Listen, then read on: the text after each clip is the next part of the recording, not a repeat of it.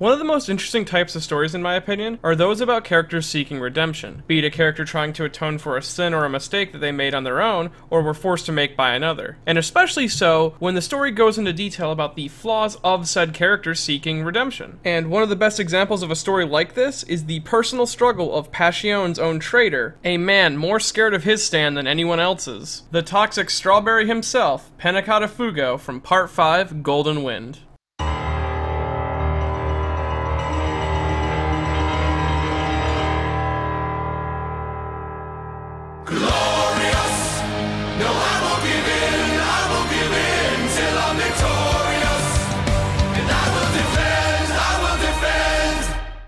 Fugo is one of those rare cases in a creative work where the creator has a chance to go back and fix a choice they made while writing the original story. And by doing so, lets the situation develop naturally in a way that would be very different than what they had originally planned. Though before that, we should actually first understand where Fugo gets his name from. The name Pannacotta Fugo is constructed of two different references. The first being panna-cotta, an Italian dessert which literally means cooked cream. It is comprised of cream mixed with gelatin to create a pudding-like substance. The panna-cotta is usually served with either a side of fruit or with fruit flavored mixed into it. The most popular version of panna cotta is strawberry panna cotta, which kind of explains Fugo's strawberry tie and his strawberry-esque design, while also explaining the close bond he has with Narancia, whose name literally contains the Italian word for the fruit orange. And also playing off of that, Fugo and Bruno get along very well as they were the two founding members of this part of Passion because they're both Italian desserts, versus all the other members, which Fugo doesn't relate to nearly as well, besides, of course, as I mentioned, Narancia, because they're all main course meals. And then you have the second half of his name, Fugo, which has a dual reference built into it. First being the word fugo in Italian, which means to dismiss, send away, or banish, which fits the themes of Fugo with not only his family disowning him, but also in his dismissal from Part 5 as a whole. The second reference found within the name is the Fugos, or the fire balloons, a weapon created and used by Japan in World War II. They were anti-personnel bombs strapped to hydrogen balloons and floated across the North Pacific Ocean aimed to strike down at the United States. They did this through a timer and sandbag system which seemed pretty primitive in comparison to the United States bombers at the time. And because of this, they actually ended up being mostly ineffective, but did require an extreme intelligence to actually construct and calculate the movement patterns of, which fits with Fugo's calculative mentality. And also, the only known recorded death caused by a Fugo explosion were that of innocent civilians, which could fit into Fugo's guilt trip over Narancia's death, as he is the one who got him involved with Passion, and also all the innocent civilians he ends up killing in Golden Heart Golden Ring. Now design-wise, Fugo has a very strange outfit, wearing a suit adorned with a bunch of small holes and a large open chest area, along with his strawberry tie. And this has led to a popular fan nickname of Swiss Cheese Boy or something along those lines, helped by the fact that his name, Pannacotta, is cream based. But what is more likely is that his design is in reference to strawberries, with the holes being the achene pips on a strawberry, and also the strawberry covered tie plays into this. And not to mention that in the flashbacks that occur throughout the entirety of Part 5, Fugo has a suit which fills in these holes specifically for the colder days of the year, showing that the holes in his outfit weren't just meant to be big empty holes, but they're part of a two-piece outfit. Also, an interesting design choice by Araki is that in 1998 it was confirmed through a Jump interview that Fugo only wears thongs. This isn't really important to his character or overall story, but it's a little fun fact about him and his design. Now, one of the aspects about Fugo's character that makes him so interesting compared to just about every other character in JoJo is how he is the only character that Hirohiko Araki actually made an effort to correct in his 30 years of writing JoJo's Bizarre Adventure. With Kira being a close second, but that was more of a reinvention than actually trying to fix him. And this is where I'd like to dispel one of the biggest false rumors about Fugo that people have passed around over the years. Fugo was not removed from Part 5 because Purple Haze was too powerful. This has never been true, and characters with overpowered abilities have always stuck around in JoJo groups, Okuyasu being a great example of this. So, why did Fugo disappear 3 fifths into the story of Part 5? Well, we wouldn't actually know the true details about it until the reprints of Part 5, but we did get a hint to it two years after the final chapter of Part 5 debuted, when Araki would commission Mio Shotaro to author a light novel that would become a canon story in the events of Part Part 5, which would detail Fugo's betrayal arc. Then later on, in the reprints that we would get, Araki explains that the reason Fugo was written out is because he couldn't bring himself to write in Fugo's betrayal. Even though he had already written up plans for it and had selected Fugo during his introduction, this is because during the time of Part 5's writing, Araki ended up dealing with a lot of dark issues in his life. And in this depression, he grew very close to the Passion boys, calling them the golden wind in his life that kept him going. And so, he just didn't have the heart to write in a story where someone who he considered to be a close friend and a guiding light at this point to turn their back on him and the readers because that idea just made him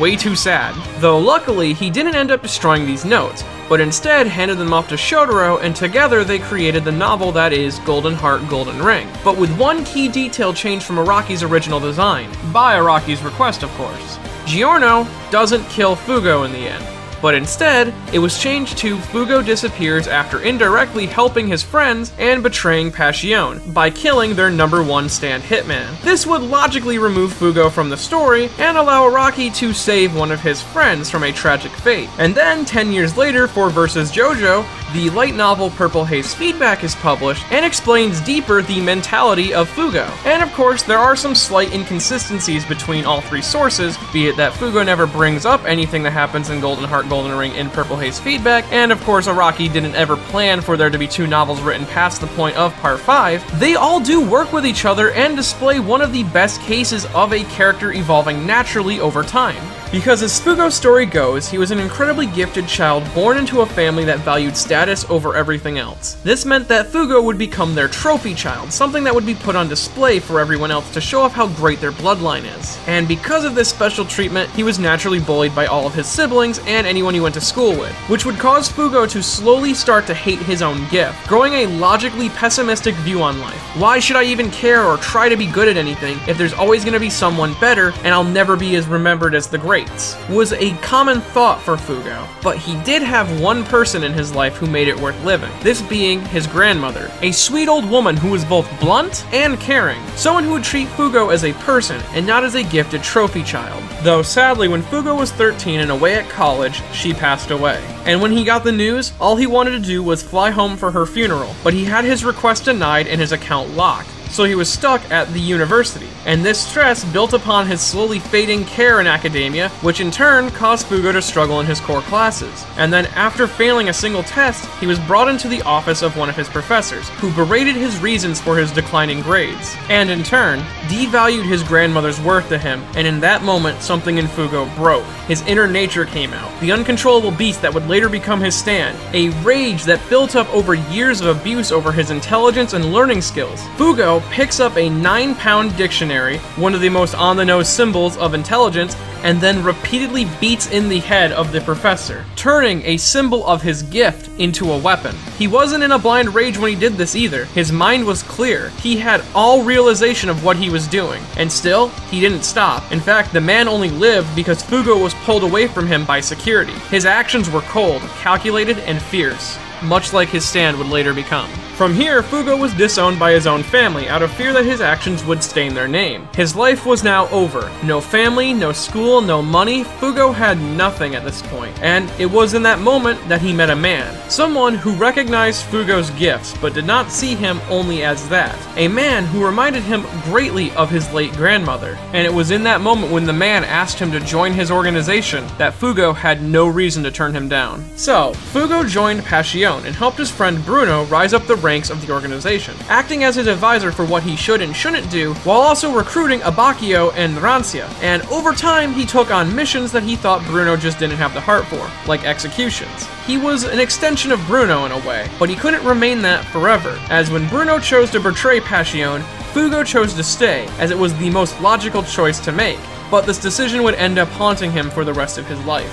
Though he didn't know it at the time, but the decision did comfort Bruno in a way. He had picked Fugo for his ability to logically solve a problem, and Fugo's decision reassured him that he was traveling down a path that he believed in, even if it wasn't the one that was most logically safe. Though the safety would soon be challenged, as Fugo was given a direct order from the boss to execute Bruno and the gang. He teamed up with the number one stand hitman and former partner of Mista, Rigatoni. Fugo would be sent on this assassination mission, and for the mission, Fugo decided to use a non-Passion stand user to get the attention of his former allies. Fugo also made sure to reduce the number of casualties, but it didn't help that they were all innocents. And by the end of the story, he had fully betrayed Passion, leading to the death of Rigatoni indirectly, and also instead of following Bruno out of Venezia and rejoining with the group, he decided to disappear within the struggle, completely abandoning his former life, running away like he always does. And this regret would eat away at Fugo for six months, until Passion finds him again and gives him an ultimatum. He either dies here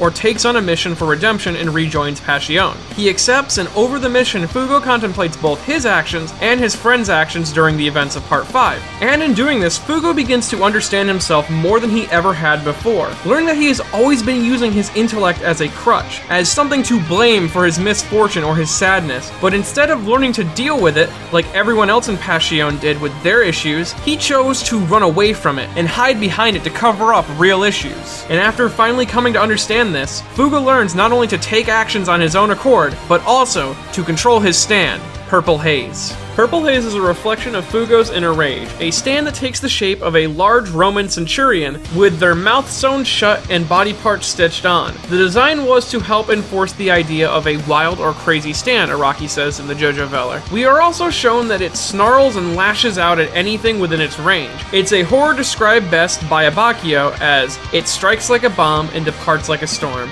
It's a stand that truly reflects the user's personality. Now, Purple Haze gets its name from the Jimi Hendrix song of the same name, Purple Haze. The song itself is about being lost in a haze, the term purple haze being used to make the haze appear unnatural in a sense, which a lot of people have said the song is heavily influenced by drugs, but Hendrix himself has claimed that it wasn't a direct influence, but could have had some unintentional side effects, given he was doing a lot of drugs at the time. Now, the real major influence Hendrix cites for Purple Haze is a dream he had once. In this dream, Hendrix found himself walking under the sea, and he wandered aimlessly, constantly shrouded by a purple haze like substance. This left Dream Hendrix traumatized. He felt trapped under the ocean, until, through his pure faith alone, Jesus descended onto him, saving him from both the bottom of the ocean and banishing the purple haze. This is reflected both in the original story of Part 5 and in Purple Haze feedback, first with Fugo's Purple Haze being tamed by Giorno in the Man in the Mirror fight. Giorno being used as a metaphor for the Son of God as he is the Son of Dio and coming down to Fugo and cleansing his Purple Haze. And then this Christ figure returns to Fugo's life six months later, offering him redemption in the form of a mission. And on this mission, Fugo not only learns to calm his haze, but effectively makes it his own for the first time. What makes Purple Haze such a deadly stand that Fugo needed saving from it? Well, it's the virus that houses itself within the fist capsules of Purple Haze, a virus that will melt and eat away a person, leaving nothing left in under 30 seconds. Fugo is also not immune to this ability either. It's a stand made out of pure rage and is uncontrollable, and just like his gifted intellect, Fugo hates his stand. He views it as an ugly side of himself and he rejects it. Until, in reflecting on his life decisions and the decisions of his friends, Fugo finds resolve in life, and in doing so, Purple Haze evolves into Purple Haze Distortion, a much less manic and crazy version of his stand, and much more controllable. And with that, Fugo gains a greater understanding of his ability, and his perception increases as well, allowing Fugo to control the virus to a certain degree. Now it has grown into a much stronger and way more destructive ability, now able to dissolve a person within seconds of contact. Along with that, it now has the ability to target and eat other viruses, and this acts as a drawback to Purple Haze Distortion. That is, if Fugo isn't careful, the Purple Haze virus will target itself, say two different capsules are burst at the same time, and will completely nullify the effects. And this acts as a reminder to Fugo that he must stay true to these new life ideals, as if he were to return to his old ways, he would effectively dissolve all the change and progress he made to get to where he is today. Now, Fugo's development as a character can't be solely credited to Hirohiko Araki. As I said earlier, Araki's original plan for Fugo wasn't nearly as glorious, a Golden Heart Golden Ring scenario where Giorno ends up killing him. But thanks to Kohei Kadono and Maya Shotaro, we got a much more interesting story of betrayal, redemption, and self-understanding. And when these three came together, they turned Araki's biggest regret in his years of writing JoJo, and one of the weirdest write-offs, into something I would consider pure perfection in a written form. And if you enjoyed this video and would like to support more videos like it in the future, I have a Patreon over at patreon.com slash Guy. And if you want to grow and develop over your life and have three other writers write a story about you, well, your first step is buying a copy of Shimoneta from Funimation.com slash show slash Shimoneta, boring world where the concept of dirty jokes doesn't exist. Buy yourself a copy of Shimoneta and go on about your life.